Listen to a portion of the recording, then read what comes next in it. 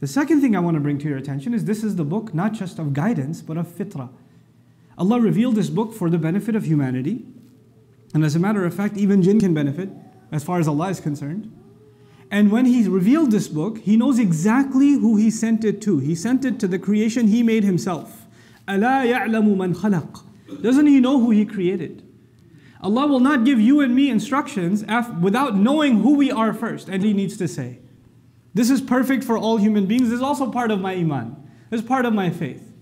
And for me to think that Allah will say something that is not for my own benefit, this is also, it goes against my own faith.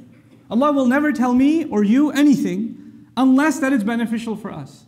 This book from Allah, this is why He says, Ar-Rahmanu allama al-Quran. Of all the names of Allah associated with teaching the Quran, you know, He could have just said, Al-Aziz allama al-Quran. The authority taught the Quran, so that you take the Quran as an authority.